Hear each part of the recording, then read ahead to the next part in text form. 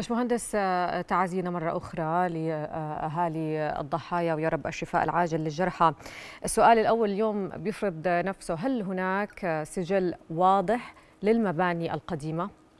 مفروض الأمانة عندها هذا السجل أو عندها هذا الإحصاء لكن ماذا تفعل بهذه المباني هذا موضوع آخر نعم. المباني إحنا كلجنة إنشائية عليا منذ سنوات طلبنا من السلطات المختصة تحصر هاي المباني وتحط خرائط إلها وتبلش تقيم فيها نعم. لأنه آه، في كثير مباني بنيت عشوائيا وفي مباني قايلة للسقوط حتى لو ما سقطت يعني م. فمفروض تنفحص ومفروض تتقيم ومفروض يتاخذ إجراء فيها. من مين المفروض؟ مفروض من السلطات الحاكمة اللي هي أساسا أمانة عمان الكبرى طيب والمجلس البناء الوطني شو بيكون دوره هذه الحال مجلس بناء الوطني هو بحط الأسس والقوانين وعنده كود البناء وحط التعليمات وتعاون مع المؤسسات الأخرى زي نقابة المهندسين الأردنيين اللي هي جزء أساسي كمان بالعملية لكن السلطة والضابطة العدلية هي بيد الأمانة. الأمانة هي من ترخص والأمانة هي من تتابع. آه، آه، في قول لسيدنا عمر بحب أحكيه بسرعة يزع الله بالسلطان ما لا يزع بالقرآن. يعني القرآن بحط تعليمات وبحط قوانين بس اللي بنفذها على الأرض هو السلطان يعني السلطة. فإحنا عندنا تعليمات. عندنا تعليمات للحفر وعندنا تعليمات لحماية الحفريات وعندنا تعليمات للهدم.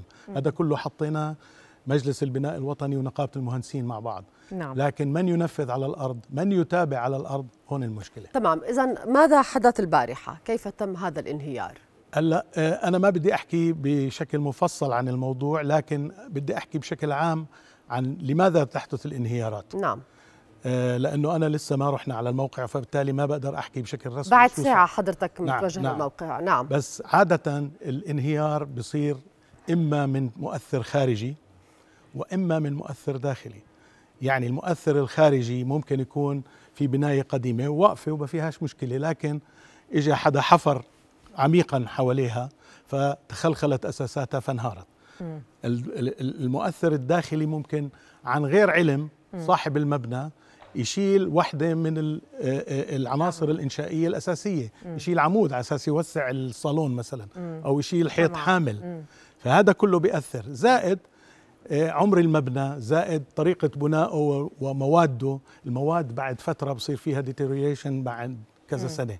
خرسانة بعد خمسين سنة. يعني المواد تفقد خصائصها. نعم. نعم. فبالتالي مفروض يتحدد بالضبط شو اللي صار.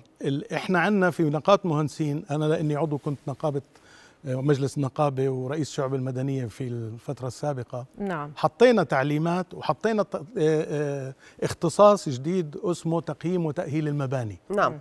هذا مختص في في تقييم المبنى إذا كيف وضعه بيكون وكيف لازم يتأهل إذا بده تأهيل وإذا بده تقوية. هذا علم في العالم ويعني بتاخذ فحوصات من المباني وبتعملها حتى نمذجة على الكمبيوتر وبتعطيها كل ال forces اللي جاي عليها القوى زلزالية و gravity نعم. وكذا. وبعدين بتشوف كيف بتصرف بناء على مادته اللي هي موجودة فيها بس, هلأ. بس هذا الشغل اللي عملتوه في النقابة وهلا اللي عم تعملوه هو لم يأخذ شكل التنفيذ أو حيز التنفيذ هو حبر على ورق لم آه، آه، يتم التواصل مع الجهات المعنية لا لتفادي ما حصل. للأسف للأسف التواصل موجود وإحنا كتبنا كذا مرة والتعليمات موجودة وهذا حسب قانون النقابة المفروض الجميع يلتزم فيه.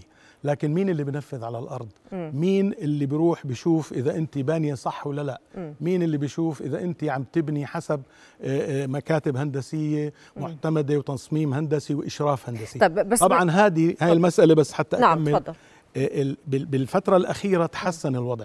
لأنه صار في لجان مشتركة مع النقابة والأمانة وصاروا نعم. يطلبوا عقود المهندسين المقيمين إلى آخره أنا بتصور مشكلتنا في ال في ال في آه، آه، الانهيارات اللي بتصير هي من المباني القديمة القائمة اللي صار لها 50 و60 و70 سنة. م. هذا لا يعني إنه المباني القديمة كلها متعرضة للانهيار. أنا هذا سؤالي باشمهندس بس عشان نفهم ونبسط المعلومة. أنت حكيت إنه ممكن تكون آه، سبب هدم بالمنطقة المجاورة أو سبب داخلي نعم. صحيح؟ نعم. قديش هاي النسبة إحنا بنحط فيها؟ يعني قد إيه ممكن تكون دقيقة نسبة إنه ممكن يكون في عندنا هدم داخلي في داخل المبنى كان أو حول المنطقة؟ يعني أنا من الحوادث اللي شفتهم قبل يمكن 15 سنة في وادي السير انهارت بناي وفي الجوفة قبل خمس ست سنين. نعم. كانت نتيجة تدخل داخلي يعني شيل عمود مم. عشان توسع أو شيل حيط. تمام. يعني المبنى بحد ذاته إذا هو قديم هل من الممكن أن ينهار بشكل لحظي بشكل مفاجئ كما شاهدنا يوم لا هو مفروض أنه يعطيكي آه علامات. لما يعني علامات يعني ما راح سمعت امبارح سمعت من اللي حكوا إنه الجيران إنه كان في تشققات. لما بلش يشيل مم. الحائط اللي عنده يوسع نعم. الطابق اللي تحت حسوا الجيران إنه في تشققات. ولكن ما عملوا في شيء اتجاهه يمكن ما بلغوا ويمكن بلغوا الأمانة ما تدخلت يعني للأسف ولكن قديش الأمانة بتقدر تتدخل إذا هذه العمارة هي موجود فيها سكان وهدول السكان ملاك. هل الأمانة بتقدر تتدخل بشكل حقيقي فورا ولا لازم تقدر تدخل تقدر الأمانة بتقدر تتدخل فورا وبتخلي مباني. نعم. إحنا بالجوفة آه، كلجنة إنشائية عليا طلبنا إخلاء مباني وأخلوها. نعم. نعم. مهندس اليوم قديش احتمالية إنه يكون في مباني مهددة أيضا في هذه المنطقة؟ وهل هناك احتمالية إنه كمان ينطلب من أهالي المنطقة إنه يخلوا بعض المباني للخطورة عليها؟ هذا بيحصل بعد التقييم. أول شيء بدك تقيم هاي المباني وتشوف وضعها وتفحص عناصرها الإنشائية. وبعدين تقرر إذا بدك تخلي أو ما تخلي. أحيانا بيكون الوضع أحسن من ما أنت متخيل فبالتالي ما بتخلي. لكن ال ال إذا إذا إذا حسيت أنت بطريقة فنية وهندسية إنه هذا المبنى آيل للسقوط يجب أن يخلى فورا. نعم. في مبادرات محلية آه، وسمعنا عنها اليوم صباحا آه، وهذه المبادرات كانت من أهالي منطقة الويبدة وكانت هذه المبادرات لحتى ما يتم في إنشاء أي مباني جديدة لأنه البنية التحتية كمان للويبدة ما بتسمح.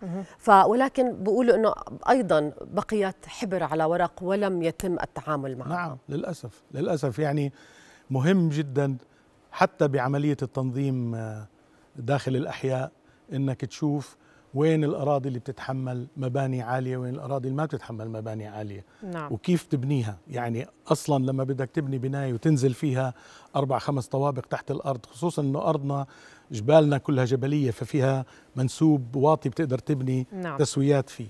هاي إلها تعليمات اسمها تعليمات حماية الحفرية. يعني ممنوع أي واحد يحفر زي ما بده. لازم يكون في فحص تربة ويقرر إنه جوانب الحفرية هاي صخرية بتوقف لحالها ولا بدها تدعيم لبين ما تطلع البناية. هذا كله موجود.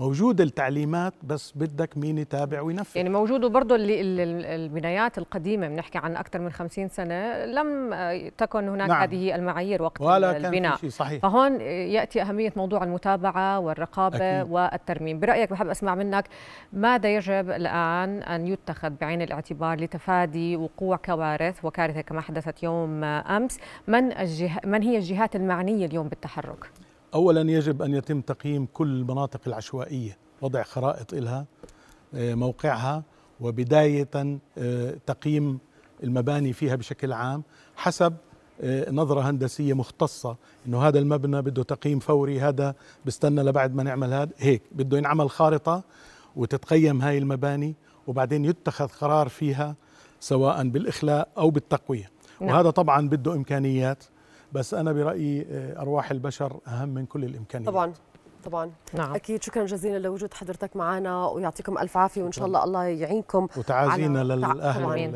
المتوفين. شكرا باشمهندس سري زعيتر عضو اللجنة الإنشائية العليا في مجلس البناء الوطني.